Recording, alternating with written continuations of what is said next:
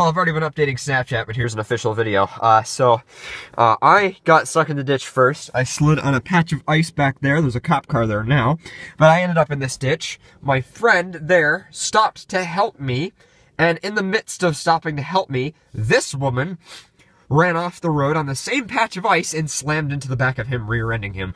So, uh, yeah, uh, everybody's here, everybody's okay. Uh, my car has no damage, that car has damage right there, that car has damage, and we're just kind of sitting here waiting, and, uh, yeah, so hopefully things will, you know, hopefully this will all be over soon. And um, at least nobody got hurt. You know that's that's like the important thing i guess. Even though it sucks to be out here it is currently 8 degrees fahrenheit outside and there's blowing snow. I don't know if you can see that, but there's blowing snow off the road. So yeah, fun shit. Fun shit.